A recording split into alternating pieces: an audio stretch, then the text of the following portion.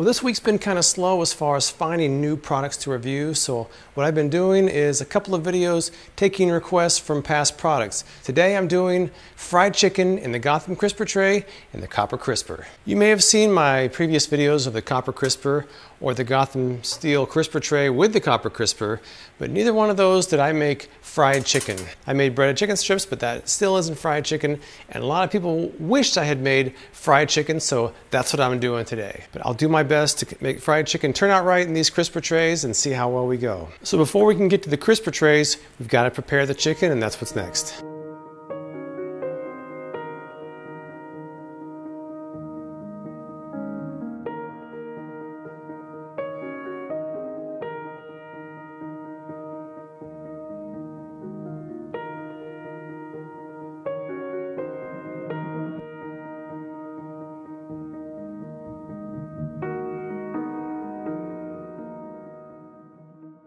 Okay, now I've got the mixture on the chicken. Now normally when you're making fried chicken in the oven, you would put it in a pan with butter. But obviously with these crisper trays, you can't do that. So what I'm gonna do here is spray a little bit of oil on there to help it crisp up and then check it throughout the cooking process and maybe apply some more oil later on. So what I'm gonna do now is spray the chicken and then I'm gonna put it in the crispers and put it in the oven.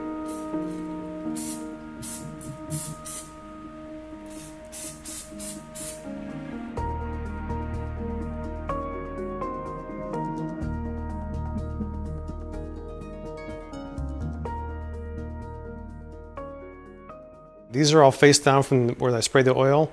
So I'm gonna spray the oil on this side. Just a light spray, I'm holding it about 12 inches away.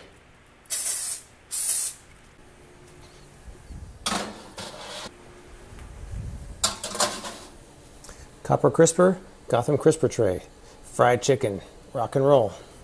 Normally with fried chicken you would flip it after 20 to 30 minutes, but I'm not going to do that. I'm just going to check on it and maybe spray a little bit more oil if necessary, but I'm not going to flip it because that's the whole idea of the crisper trays. Back he goes.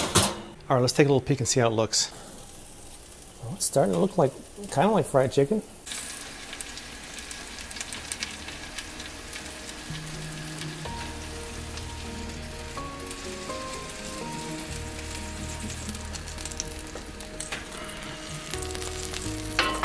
Well, what do you think?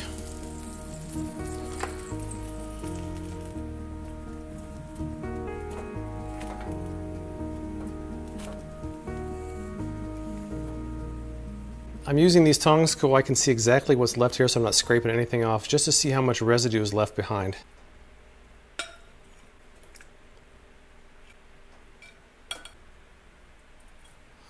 Okay, there's what I'm left with. Here's the Gotham crisper tray. Here's the copper crisper. Now I'm going to get it cleaned up and go for round two.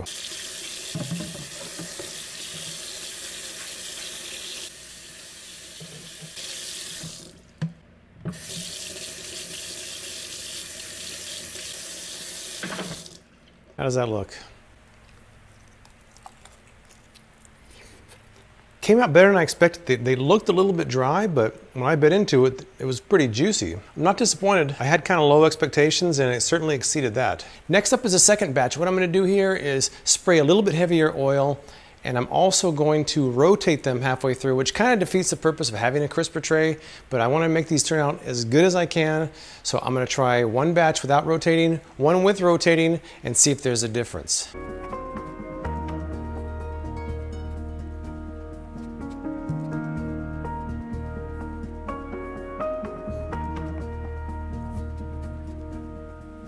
I'm to spray more this time.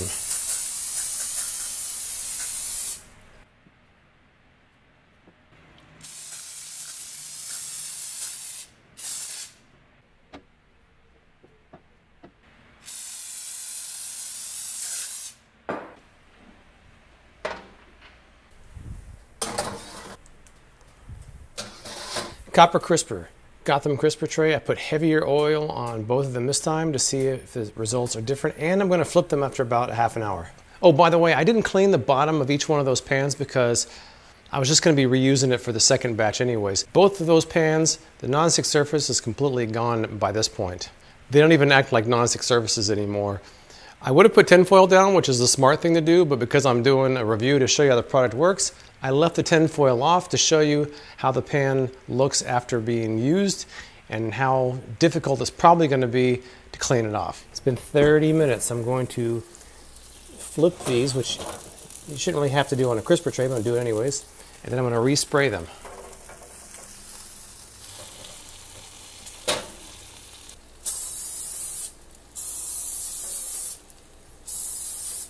All right, adequately sprayed, 30 more minutes. Bye-bye, chicken. All right, time to take it out. Let's see how it looks. I want to say they look a little crispier. Okay, I put heavier oil and flip these halfway through. I, know, I think they look a little bit crispier.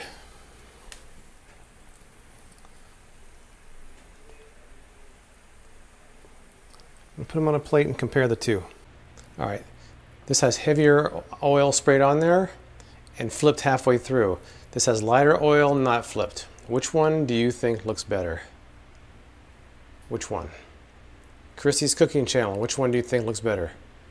I think that one looks better, my opinion. What do you guys think? Sorry there's a couple less of these because I ate a couple because I was getting hungry. Sorry about that. So I don't think it matters if you use the copper crisper or the Gotham crisper tray. It's how you prepare your food in these crispers that makes more of a difference than which crisper you're using. And now they're done, look at the mess I got to clean up. Look at that. I don't know. That's to be brutal. Brutal. Not fun. I'm to let these cool off. All right, now for batch number two taste test. How does that look to you?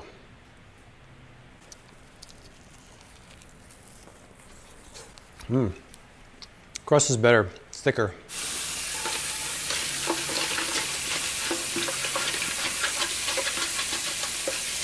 As far as cleaning these crispers go, I haven't had as good a luck with them as I have some of the newer generation of copper pans because on those you can actually keep the flame low. In these high heat, I don't think that they hold up as well.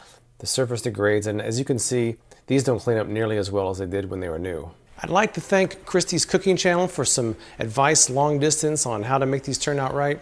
I don't think I would have done as well as I did without her advice. I'm going to link to her channel below because it's a really good cooking channel.